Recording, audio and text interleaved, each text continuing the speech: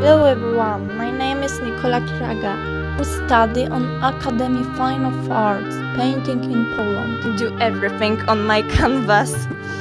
When I visited other places around the world, I take many motifs to my painting and art not should show everything, it will become more interesting, I think and uh, the understatements are the most interesting.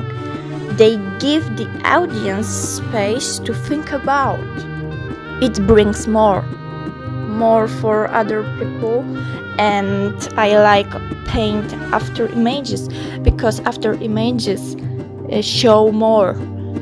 Uh, after images, uh, not show everything I love experimental with material and it's really important in my art. The intensity colors in my paintings plays a role. The intensity of colors shows the color sensations of the city in my travel cycles.